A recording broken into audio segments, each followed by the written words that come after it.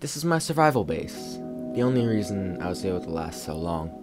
Mobs can't spawn underwater, and a surprising amount of blocks look good when waterlogged. I built it underneath a formation of ocean ruins that I thought looked like one continuous structure. This is my industrial area that provided me with all the resources I needed to build anything I could dream of.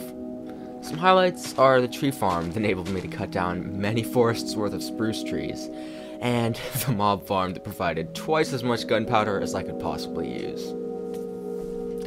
Behind the industrial area is the village where I first got my villagers from. It's a small island that it's the only spruce biome for like a thousand blocks. To highlight the beauty of, you know, the isolated biome, I built a giant spruce tree at the top of the hill with a path coming up to it from the village.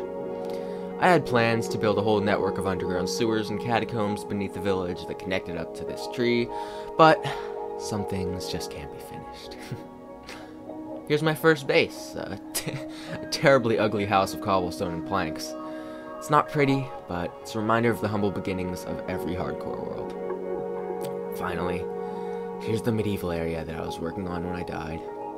I plan to make an expansive village bleeding out into the surrounding biomes. The magnum opus, of course, would be the giant Gothic cathedral in the center of the town.